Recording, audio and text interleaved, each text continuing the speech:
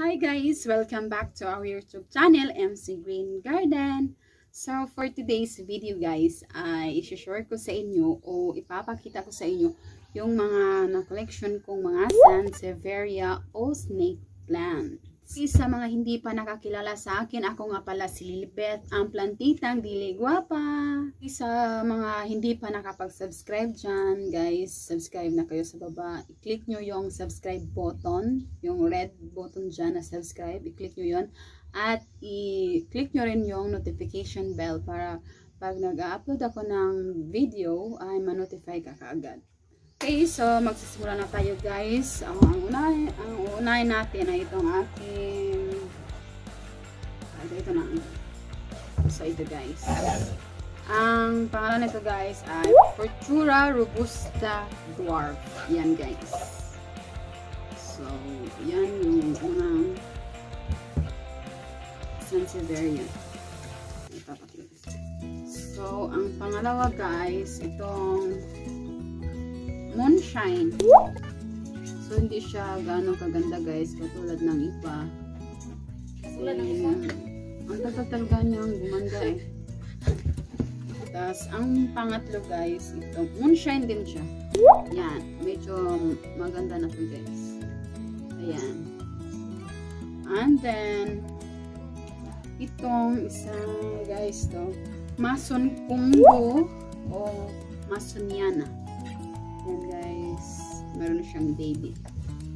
Yan. Yan.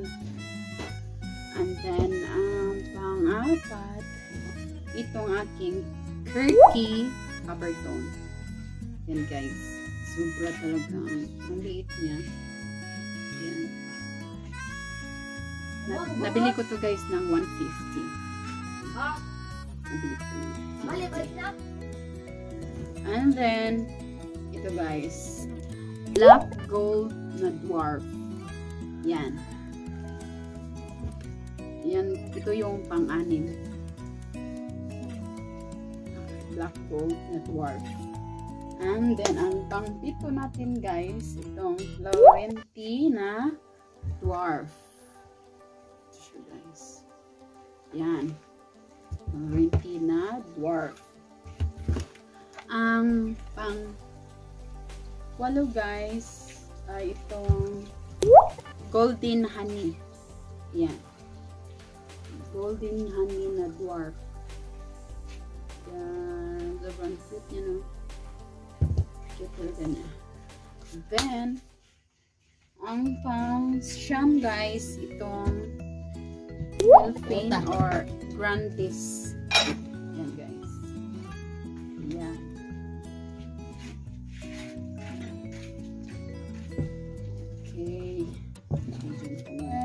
Guys, yung pang sampo. Cylindrica Facciola. Yan.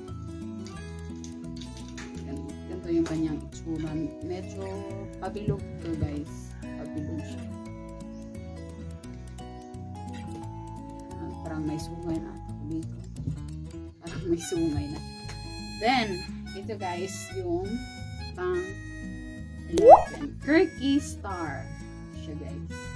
Ang Kirky Star. Yan, ang cute nyo. Then, dito na tayo guys sa isang ito, mga giant na talaga to.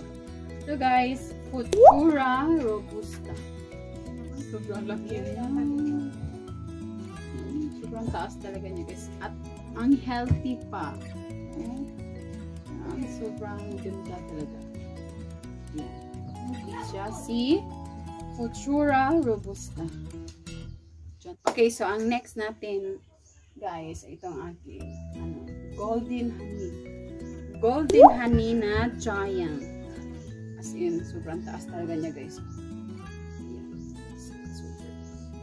So, ayan guys, makikita nyo, napaka-healthy talaga ng kanyang baby. Ayan guys. Sobrang, ang ganda talaga ng kanyang baby. And ito yung mother niya. Ayan guys. So, uh, susunod natin guys, itong black gold Yan, black gold, guys. Na giant. Ito rin yung kanyang baby. As in, napakaganda talaga, guys. Okay, so, um, isusunod natin, guys, itong Laurenti o Tris Fasciata. Mothers-in-law, mother-in-law stamp. Yan, guys. Meron din siyang baby. Ito, guys. Napakaganda. And then, ang susunod natin, guys, itong Bacularis. Ayan. Bacularis. Sobrang taas din ito, guys. Ayan. Napakahaba talaga niya. Then, ang next, guys, itong mm, Ze Zelanica, Zelaneca o Celon Boosting, Boostring Hem. Zelaneca. Zelaneca o Zelon Boostring Hem. Yan guys. Matas din ko siya. Yan. Wow. Cute. Ang last guys,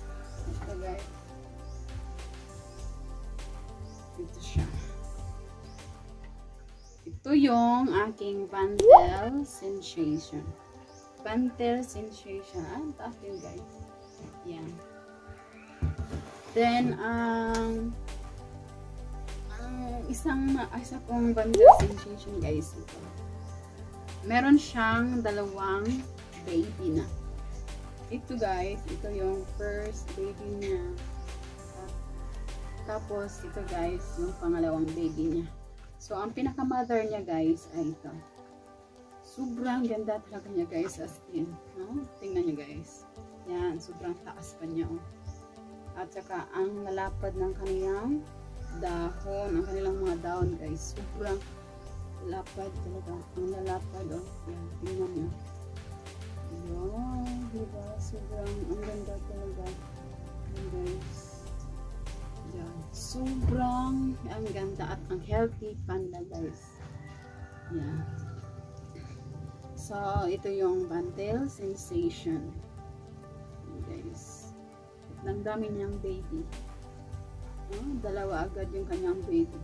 Ito yung pinaka-mother at ito yung kanyang baby. So, bibigyan ko rin kayo ng tip guys kung paano ko na na-maintain na healthy yung mga aking Sansevieria. So,